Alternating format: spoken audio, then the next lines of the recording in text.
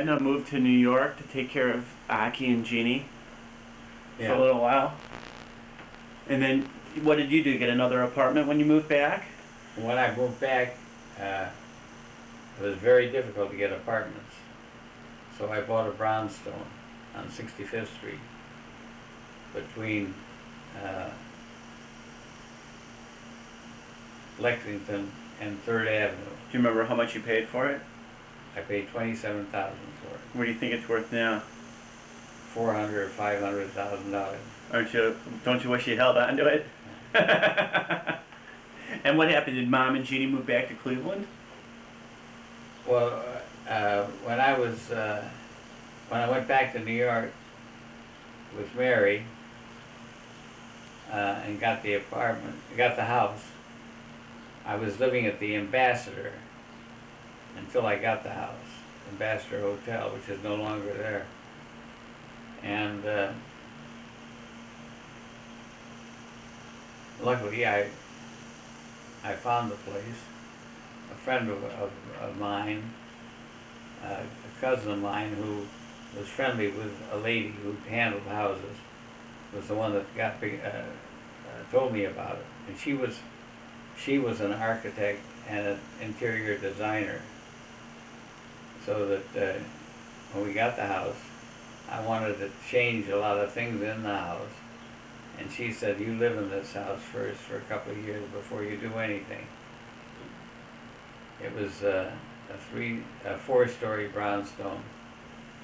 It had a basement, a first, uh, a basement, uh, a first floor, a- lower floor, a low, a low floor level where the dining room and kitchen were. Then you went up the stairs to the uh, living room and parlor. And then you went up the stairs to two bedrooms, and then finally the top floor, which was uh, a bedroom, and that was it. Sounds wonderful.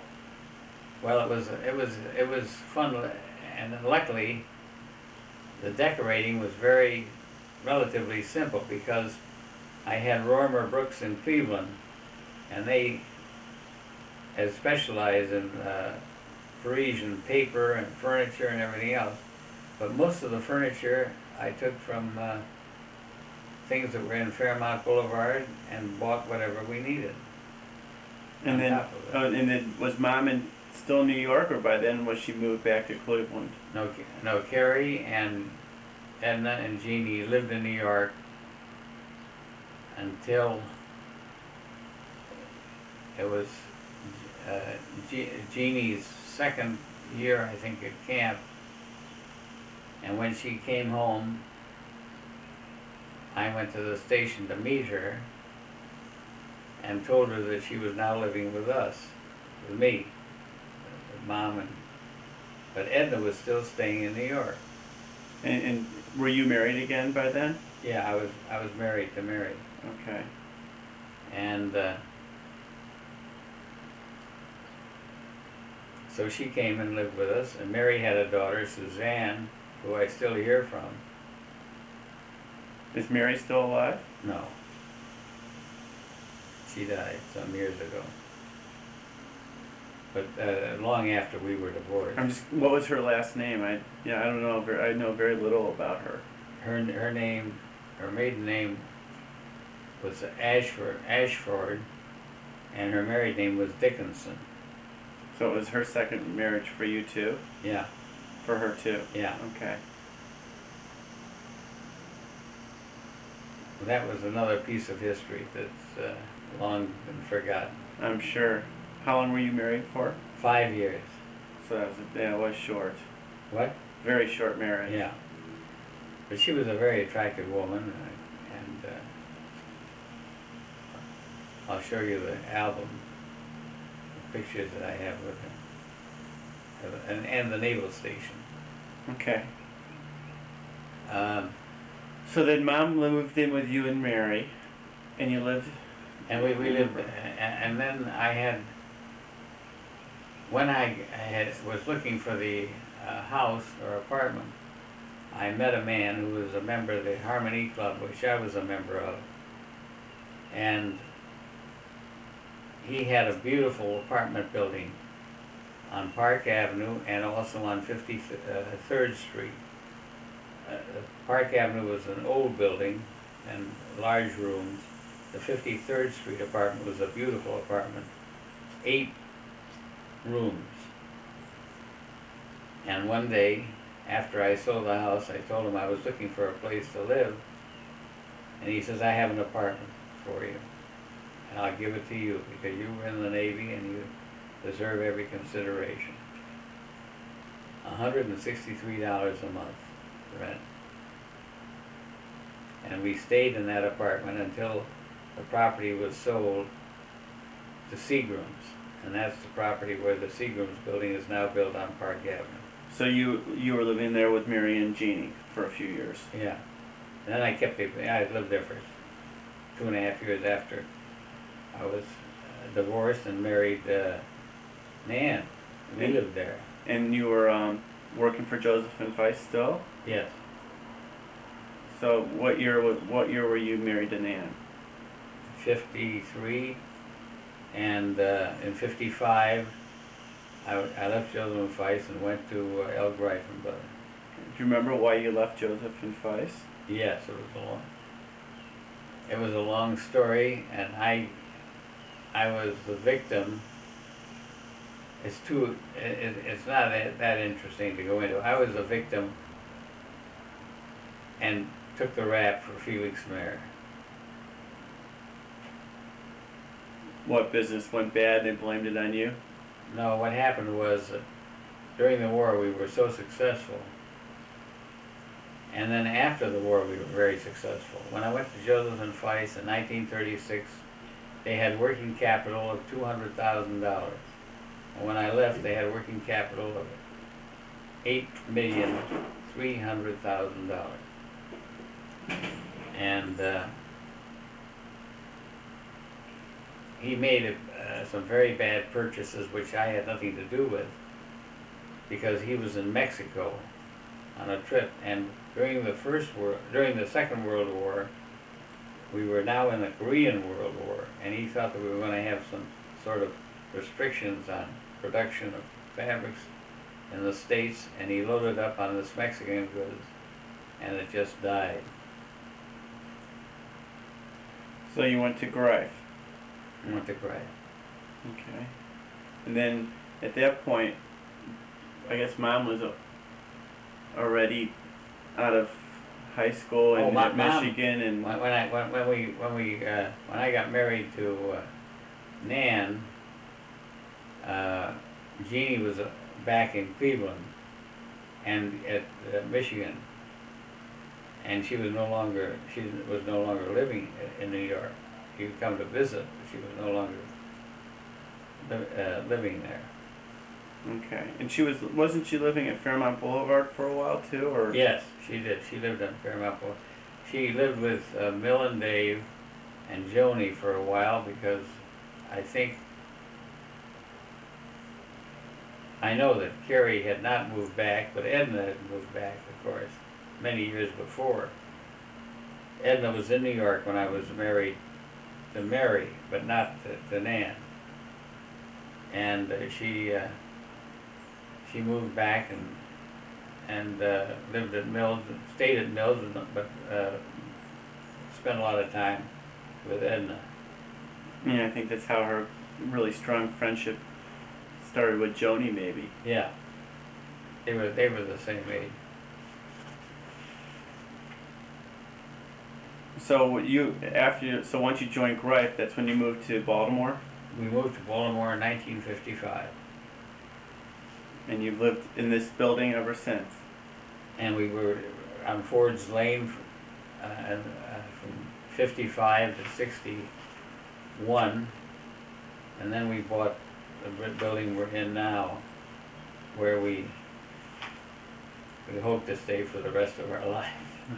How long did you date? I'm just gonna jump back a little bit. How long did you date Carrie? I mean, you, you had known her for years, right? Oh yeah.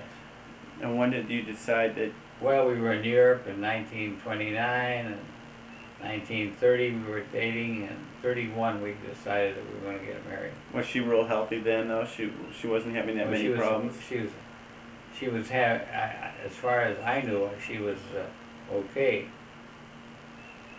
But you knew she had some problems earlier in her I life. I knew that she had, uh, but, but that was peanuts compared to what, uh, What- developed into. Sure. What about um, her sister Virginia? Virginia. Did you visit with her at- ever? No, she was at school. At Bancroft. Hackensack, New Jersey. Right. And I would try to visit her there. I would get there once in a while. Always kept in touch with her. Now, the, as I recall, you have some vi- some some movies of your wedding to Carrie, right? Right. And that was pretty unusual back then, wasn't it, to have that film? Well, we had the- we had the movie. We uh, my father bought a moving uh, moving uh, uh, a picture camera. Uh, I it wasn't an Eastman. It was another. I think it was a Pathé or some such name. And uh, we took uh, 1,800 foot of film in Europe. And there was a man in Cleveland who specialized in cameras and film, and he was known to the family, and he put together the equipment for Europe and, and came out and took pictures at our wedding. Do you remember what the wedding ceremony was like when you married Carrie? Oh yeah, it was a very beautiful ceremony. Rabbi Silver, Senior, Abba Hillel Silver, and, and his wife Virginia were there, and the whole family were there. And I had uh, my friends and the boys and girls, Who was your friends of Carrie's too. Who was your best man? David. Dave. Dave Skull, Do my you remember? Do you remember who uh, Carrie's maid of honor was? I, I think it was Marie Hay, Marie Hayes Heiner. Yeah, that was her cousin. She was afraid of hurting people, and I was afraid of hurting people. And so we had the two Two relatives and close friends. Relatives and close friends, right? No, Virginia. Now, as I recall, there were in the wedding video. There was her sister attended the wedding. Yeah, Okay. Do you remember what you wore to the wedding? I wore a full dress. Okay. Were you nervous at all? No, Do you remember any of the wedding gifts that you got? Well, they were wonderful at wedding. We got from uh, Grandpa Feist. We got the dining room set, and our our wedding gifts were beautiful. All the family in those days sent gorgeous gifts, and uh, I, I we had one room in the house on on Drummond Road with tables in it with all the gifts on it. It was tremendous. Do you still have any of the gifts? Oh, yes. I know that Carrie has a lot more than I have because I didn't take anything when we were divorced. Where where did you go on your honeymoon? Do you remember? Yes, we went to Europe on the Berengaria. We went to Paris. We stayed at the Bristol on Rue Saint Honore, and we were gone about ten days. And that was a beau- I mean in Paris, for a week in Paris, a week on the ship going, a week on the ship coming back. Sounds like a nice honeymoon. It was a gorgeous honeymoon. Describe yourselves as newlyweds. How did you act? Well, we were very happy and content. And uh, we were very close friends with Carolyn and Joe Farber, who had been married in 1929, and Alan Blau, and a few others that were. I was the first of my group to get married. Where Where did you live when you first got married? Uh, when we first got married, we we took a, a, house in Gates in uh, Chagrin Falls.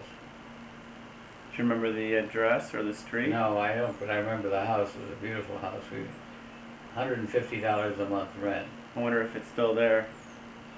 Well, we we lived in it, and then we we spent the summer there, and then we took a house in uh, on Drummond Road. I mean on uh, Fernway? Fern Fernway. Was it Fernway? Yeah, Fernway. You, you don't remember the address though, do you? No, but it's uh, Because we drive by that all the time. it's beautiful. It's the third house from the east end of the street. It's a brick colonial brick house, Okay. and uh, it was it had uh, three bedrooms. It had a, a, a living room and dining room, kitchen on the first floor, and there were either two or three bedroom three bedrooms there were on the on the second floor, and it had help quarters on the third floor. And we were lucky; we had a, a couple. And times were so bad, a cook and a, and her husband that lived in the house, and we paid them thirty-five dollars a month, and they were happy as they could be. That's a pretty small house. They have all those people living in there. Well, they were they ate in the kitchen, we ate in the dining room, Sure. and uh, they would go upstairs to their room, and we would stay on the second floor. And Jeannie was a little girl. We had a nurse for her, What kind of car did you drive then? LaSalle Let's touring uh, LaSalle touring car with a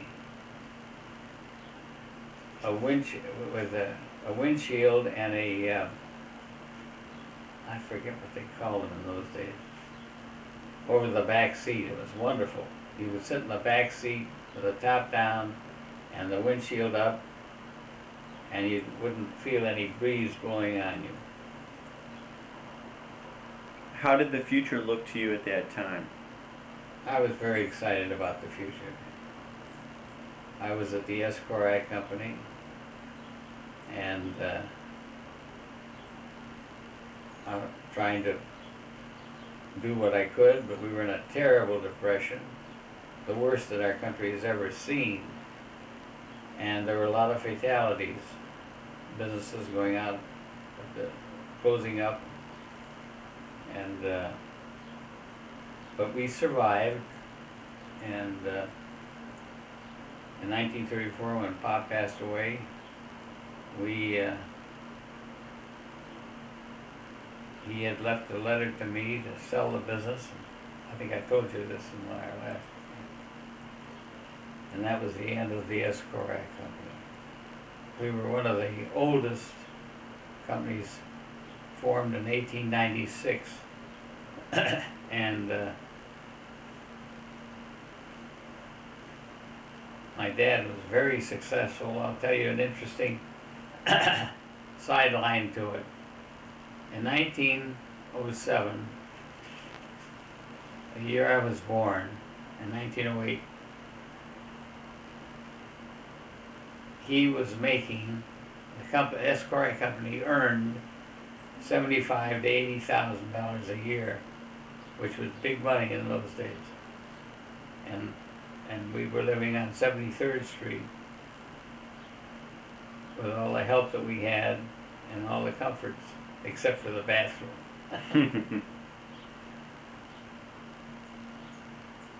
and then business grew a lot from that. Oh, from those days it, it went went wild. Of course, I told you that the pop was known as a skirt king, and when skirts went out of style, then they went into uh, dresses, suits, and dresses.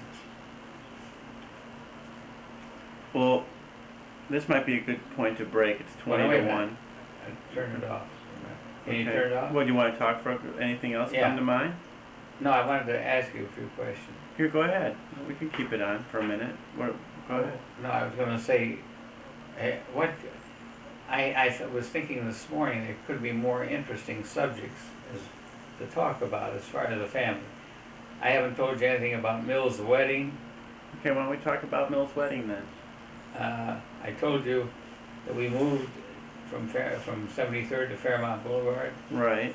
in nineteen uh, eighteen uh, or 19. It, it took a long time to build the house because the war was on. And uh, the house, when Pop uh, told me one day to build the house and the property cost $108,000. Was, that was, uh, by today's figures, that would be a lot of money. We sold the house when Mill and Dave went to Chicago. It was their house. My mother had traded houses with them and given the Demington Drive house to Helene and Alfred when they came back from California. And uh, uh, Dave was president of the stock exchange, and that was moved to Chicago, and that's why they went to Chicago. And what year was that? That was in nineteen fifty-two, I believe. And you sold the house for. They sold the house for how much around? Around, uh, 40 something? no, fifty-five thousand, I think it was. And we sold everything that we wanted to sell in the house for twenty-five thousand. The furniture. And, uh, the house was sold in nine, I think it was last year, wasn't it? Mm hmm. in nineteen uh, for two hundred and seventy-five thousand. So it was probably worth more when you built it than it is today, which is kind of one of the strange things because it's, No, it's like- worth more today than. it well, not really relatively though. If it cost over a hundred thousand to build it in 1919, that would be you know close to a million dollars in today's. mo- Oh, yeah, that, you're right. And when you think about But I don't think it was that high, it would be that high, but it would certainly be in the three quarters of a million. Yeah, sure. And the appreciated value it just didn't appreciate like maybe the, your New York properties did. So tell me about Aunt Mill's wedding then. Well, Aunt, Aunt Mill was f- first one naturally, she was the oldest in the family, the first to get married. And she was eighteen years old when she was married, and Dave Skull was twenty. And, uh, August fourteenth, what year? nineteen twenty-three. And then in I, in September, Mill became nineteen and Dave became, it was, uh, had a twenty-first birthday in October. And that, that, that was a wonderful wedding, I mean, a wonderful marriage, and they had a beautiful wedding. It was at the old, at the Excelsior Club in Cleveland, and there, there must have been a, well over a hundred people, including my parents' friends and Mill's, Mill's friends and Dave's friends. He had, I think, eighteen ushers, and they all, many of them came from out of town. And Mill had uh, her share of bridesmaids. I think Lucille was her, uh, Dalby Grease was her maid of honor. And our family from, uh, several of our family from New York came, Uncle Bertie, and, uh, who was my mother's oldest brother. And, uh, it, it was a, a, a beautiful occasion. I'm sure it Nobody ever forgot it. I'm sure it was. What about when Aunt Pet met married Alfred? When Aunt Pet married Alfred, uh, it was in 1934, and it was in.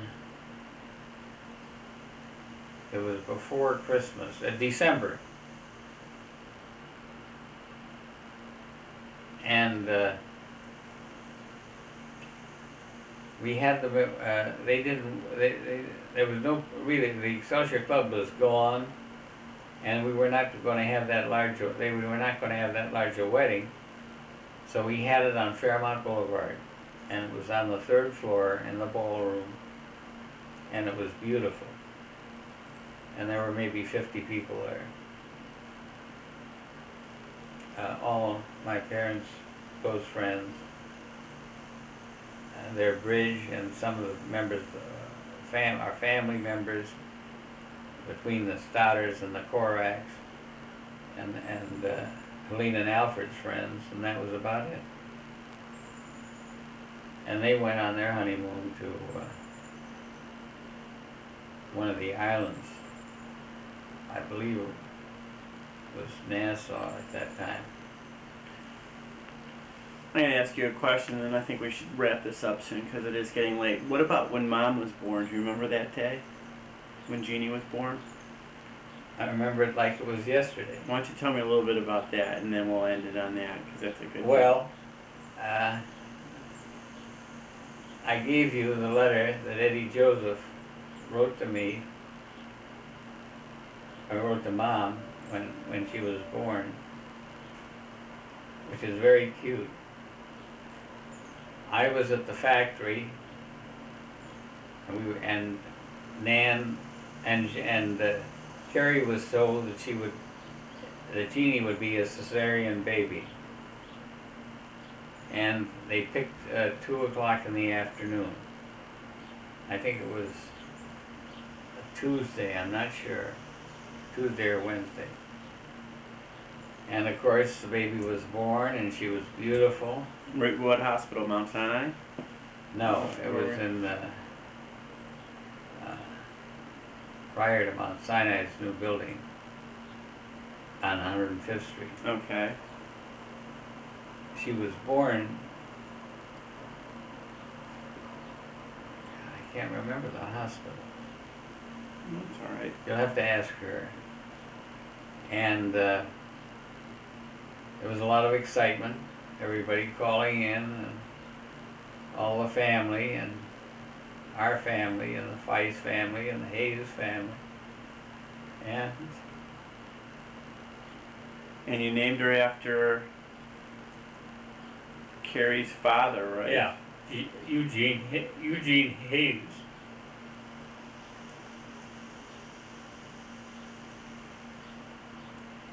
He was one of the greatest man I ever met. Many way, in many ways, like my father, a good businessman. And they had a very successful business. What business was he in, Appy? K and E. And uh,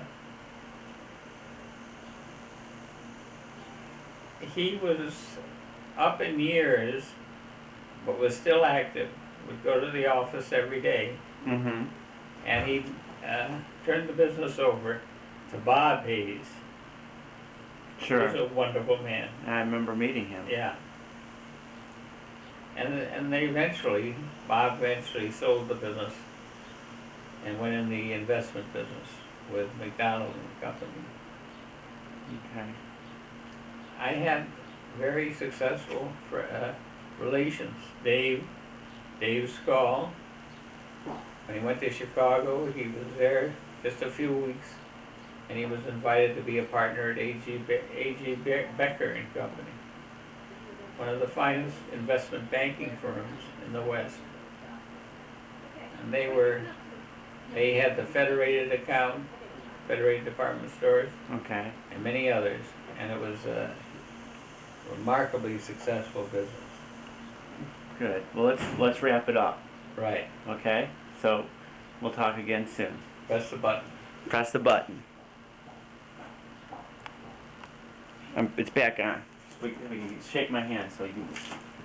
Thank you for Oh, taking the time to do it, doing Don't this. worry I about it.